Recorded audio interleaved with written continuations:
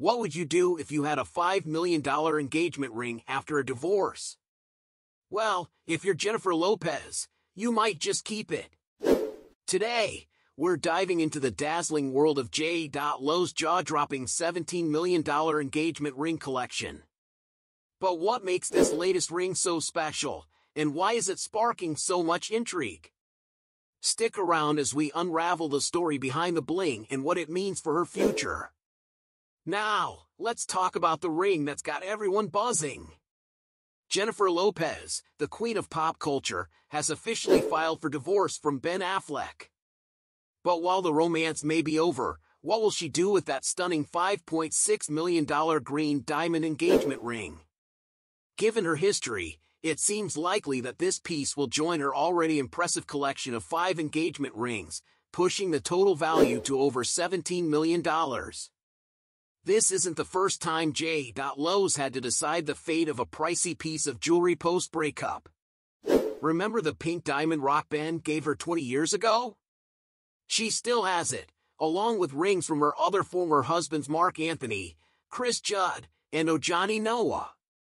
Let's not forget the engagement ring from Alex Rodriguez, even though they never made it down the aisle. The most expensive one in her collection? That would be the $6.5 million blue diamond ring from Marc Anthony, a piece she's described as her most treasured. So, what makes this green diamond so special? According to Laura Taylor, an engagement ring specialist, this 8.5 carat green cushion cut diamond is incredibly rare and likely to be kept by Lopez due to its value and sentimental significance. After all, green is her lucky color. In the United States, engagement rings are typically considered gifts, meaning J. Lo is legally entitled to keep the ring, especially since there's no prenup in place between her and Ben. But what about the rest of her collection? Let's take a quick look.